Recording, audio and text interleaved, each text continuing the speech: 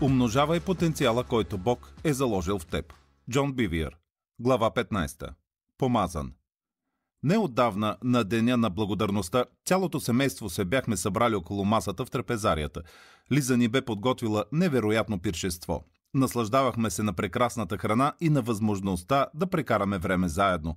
Усетих, че като баща трябваше да кажа нещо на семейството си, както и на няколко члена на нашия екип, които бяхме поканили. След като се помолих вътрешно, в сърцето ми дойде ето това слово. Скъпи мой, вече съм 60 годишен и до голяма степен като баща се чувствам отговорен да ви дам някакъв мъдър съвет. Ако ме попитате кое е най-важното нещо, което двамата с Лиза сме постигнали в ходенето си с Бога през последните 40 години, бих ви отговорил следното. Да бъдем верни на принципите си. През годините много пъти сме имали поводи да зарежем всичко, както се казва, както и поводи да правим компромиси с истината заради лична изгода и себеиздигане или да смекчим някое изпитание, през което сме преминавали. Но винаги сме избирали да се държим за истината като наша котва, независимо колко болезнени са били обстоятелствата. Йов казва нещо много мъдро в неволята си но това ще ми бъде още утеха. Да, ще се утвърдя сред скръп, която не ме жали, че аз не утаих думите на святия. Йов 6.10 когато съм допускал грешки, а те никак не са били малко, съм бързал да се покая и да поискам прошка както от Бога, така и от хората. Сега виждам невероятните благословения, до които е довело неотменното покорство към истината. Бог е толкова милостив. Помазанието – Огромно благословение, проистичащо от неотклонното следване на истината, е помазанието. За да разберем това, нека да насочим поглед към Великата Ординация, денят, в който Бог Отец провъзгласи Исус за цар на небето и на земята. Възлюбил си правда и си намразил беззаконие. Затова Боже Твоят Бог те е помазал и е излял върху теб миро на блаженство, повече отколкото върху който и да било от Твоите приятели. Еврей 1.9. The Passion Translation. Обърни внимание на думата за това, тъй като тя е от съществено значение за разбирането на основната истина.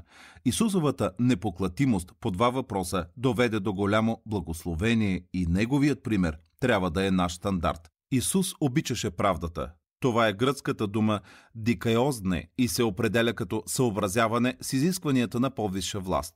Но в същото време той мразеше беззаконието – има много християни, които не харесват беззаконието, но не такова е отношението на Исус.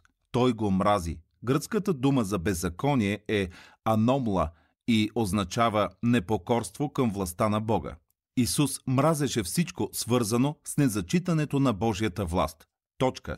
Исусовото неотменно покорство, независимо от трудностите, беше причината помазанието върху неговия живот да е по-мощно от това върху неговите братя. Защо приключвам тази книга за умножаването с коментар за помазанието? Отговорът е прост, но много важен. Помазанието е това, което предизвиква умножаване с вечна стойност по отношение на дадените ни от Бога дарби. Погледни на него като на подобрител на онова, което си надарен да правиш. Ще дам два кратки примера. Чувал съм хора с страхотни гласове, които много са ми харесвали, но съм чувал и такива с не толкова впечатляващи гласове, които обаче са докосвали сърцето ми по-дълбоко и са предизвиквали в мен промяна. Разликата е била в помазанието. Също така съм чувал хора да представят послания с много сериозно съдържание и все пак други, не до там впечатляващи послания, са ме докосвали по-дълбоко на сърдечно ниво и са предизвиквали промяна в поведението ми. Разликата е била в помазанието. Същото е валидно за всички Божии слуги, независимо от сферата, в която са призовани – в правителството, бизнеса, изкуството, образованието и така нататък. Цар Давид заявява Но моят рок, символ на изключителна слава и величествена благодат, ти си издигнал като този на див вол, помазал си ме с прясно миро. Псалм 92.10, Amplified Bible – Думите му са толкова красноречиви. Според някои от водещите коментари върху стиха, тук акцентът не е върху дивия вол, а по-скоро върху идеята, че ти се ме направил много силен. Помазанието носи радост. Бог го нарича миро на блаженство или радост, което според Словото е наша сила. Виж Неемия 8.10.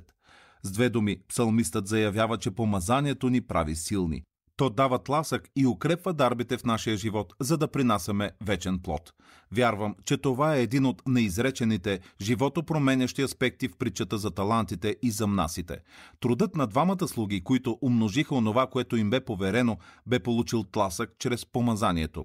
Казвам неизречен, понеже тази истина е извлечена от горе споменатите библейски пасажи. За да постигнат умножаване, за тях беше важно постоянно да се подчиняват и през ум да не им минава да проявят непокорство към инструкциите на техния господар, така привличайки помазанието, което да подсили дарбите им. Давид говори за свежо миро. Помазанието не е някогашно събитие, а по-скоро благословение, което започва и не секва за този, който неотклонно се движи в покорство към Бога. То не е нещо придобито в даден минал момент, а после взимано за даденост, понеже вече го имаме. Самсон имаше помазанието, но не го поддържаше свежо. Той направи компромис и прояви неподчинение, не мразеше беззаконието. На няколко пъти му се размина, но в крайна сметка грехът му го застигна, словото гласи. И силата му се оттегли от него. Тогава тя, Далила, каза Филистимците те нападат, Самсоне. И той се събуди от съня си и си каза, ще изляза както друг път и ще се отърва. Той обаче не знаеше, че Господ се беше оттеглил от него. Съди 16, 19 и 20. Самсон не знаеше, че помазанието се е вдигнало. Ето защо Давид след проявеното от него непокорство по отношение на Вицавее горещо се моли. Сърце чисто сътвори в мене, Боже, и дух постоянен обновявай вътре в мене, да не ме отхвърлиш от присъствието си, нито да отнемеш от мене святия си дух. Върни ми радостта на спасението си и освобождаващият дух нека ме подкрепи. Псалм 51, 10-12 Викът на Давидовото сърце, неговата гореща молба, беше помазанието да не се оттегли от живота му и той знаеше, че това ще зависи от неговата лоялност и неизменно покорство към Бога. Нека да продължим да изследваме помазанието и на кого се дава то. Отново разгледайте думите на Павел, представени в началото на тази глава. А този, който ни утвърждава заедно с вас в Христос и който ни е помазал, е Бог. 2 Коринтияни 1.21 Думата помазал тук е гръцката дума хрио. Тя означава да определя някого за изпълнението на дадена задача с идеята за свръхестествено одобрение, благословение и надаряване, да помажа, да определя, да назнача. Има ключови думи, които няма как да бъдат пренебрегнати. Думата одобрение се определя като авторитетно разрешение или съгласие във връзка с някакво действие. Накратко, помазанието е божественото одобрение за действие. Исус заявява Духът на Господа е върху мене, защото Той ме е помазал да. Лука 4.18 Помазанието беше Божието одобрение върху Исус да извърши нещо. По подобен начин апостол Павел изтъква как Бог помаза със Святия Дух и със сила Исус от Назарет, който обикаляше да прави благодеяния. Деяния 10.38 Отново става въпрос за действие. Друг важен аспект във връзка с Хрио е изразен чрез думите определям или назначавам. Когато служим на Бога, винаги има период на изпитване. Изпитва се нашето покорство, преди да бъдем назначени или помазани.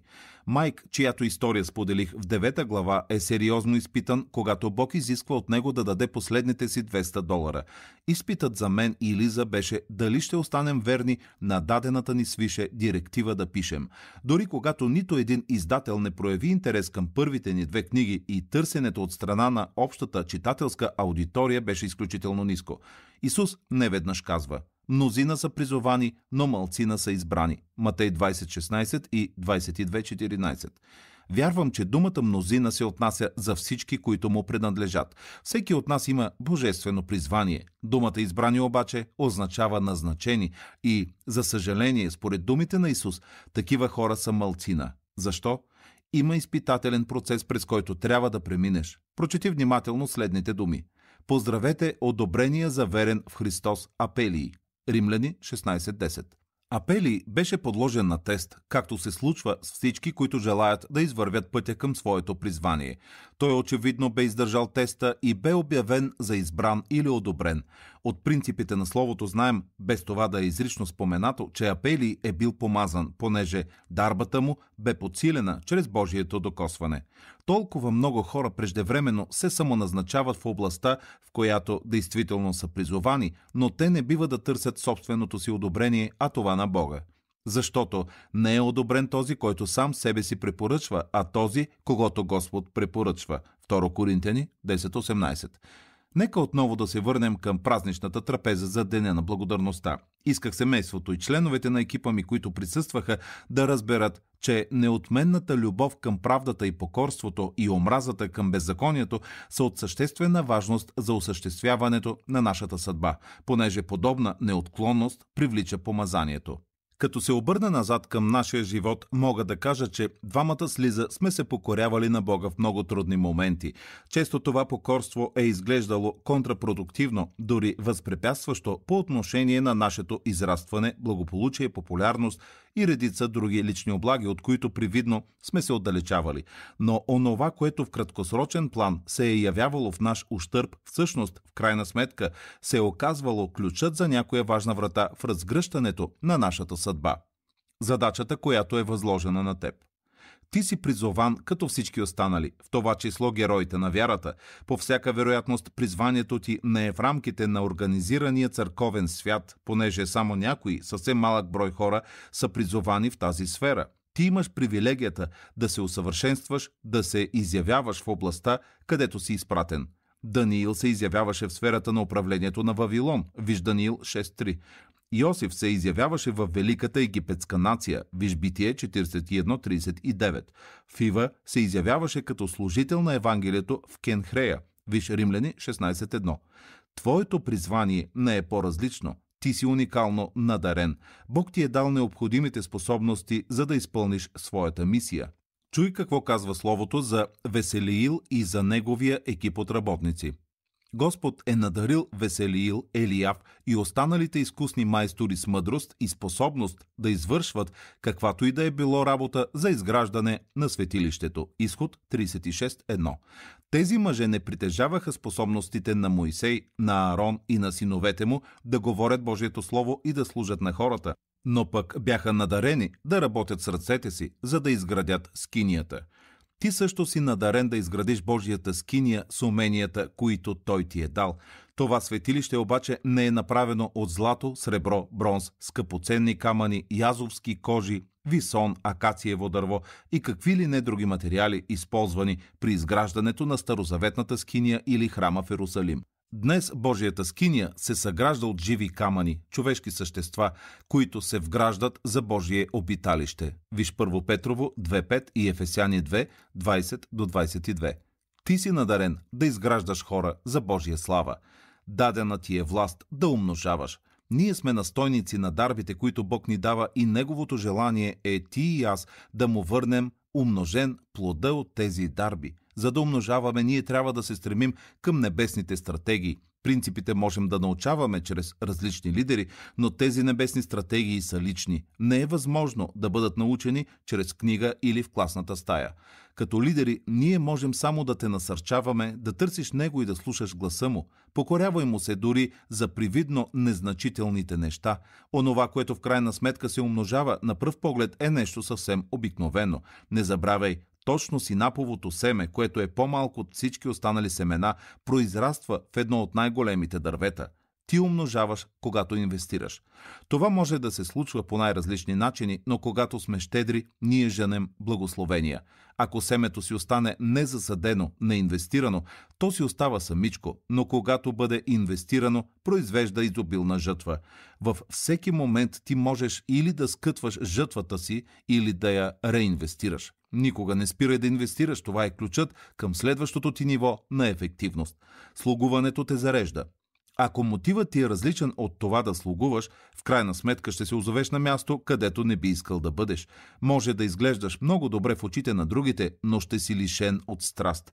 Светлината на лампата ти ще продължава да намалява, докато накрая напълно изгасне. Но не се притеснявай, той няма да угаси замъждял фитил. Господ постоянно ще се стреми да привлече вниманието ти, да разпали твоя огън. Виж Исаия 42.3. Независимо с какво се занимаваш, стреми се да служиш, обичай нелицемерно и преодолявай всички трудности, с които се сблъскваш. Желай помазанието. То е твоят подобрител и придава вечна стойност на работата ти. Помазанието увеличава твоята сила и те прави да се открояваш в областта, в която си призован. Разграничавате от онези в света, та дори и в църквата, които използват дадените им от Бога дарби с егоистични или светски мотиви. Необходима ти е вяра. Това е единственият начин да умножаваш дадения ти от Бога потенциал – без вяра не е възможно да се угоди на Бога. Еврея 11.6. За да нараства вярата ти, ти трябва да слушаш Божието Слово. Казано е, вярата е от слушане, а слушането от Христовото Слово. Римляни 10.17. Необходимо е да слушаш, да слушаш и пак да слушаш, за да може Божието Слово да се утвърди здраво в сърцето ти. Ето защо би било добре да четеш и препрочиташ тази книга, но не просто да я четеш. След като си прочел нещо, размишлявай как тези истини се отнасят за теб, а после ги прилагай. Нека Словото, което е систематично изложено в настоящата книга, да влезе в духа ти чрез четене, размишление и молитва до степен, в която да повярваш, че си призован да умножаваш, независимо как изглежда изглежда животът около теб.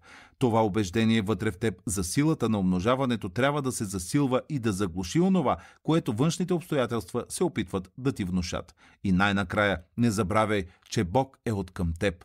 Надеждата казва, защото аз зная мислите, които мисля за вас, казва Господ, мисли за мир, а не за зло, за да ви дам бъдеще и надежда. Еремия 29.11 И отново недвусмислено ни се казва. И така, какво да кажем за това? Ако Бог е от към нас, кой ще бъде против нас? Онзи, който не пожали своя син, но го предаде за всички ни, как няма да ни подари заедно с него и всичко? Римляни 8.31 и 32 Вслушай се в тези думи, а не в обесърчителните твърдения, идващи от Бога на този свят, главният обвинител и обесърчител.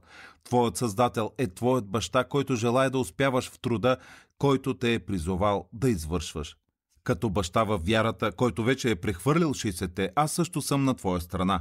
Насърчавам те да стигнеш по-надалеч, отколкото аз и моите съслужители сме успели да стигнем.